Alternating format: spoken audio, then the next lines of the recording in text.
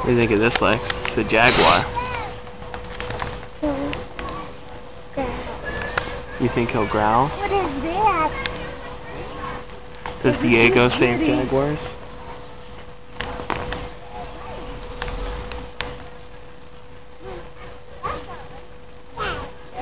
Here we go. What's he doing? He's just walking around. I think he's bored.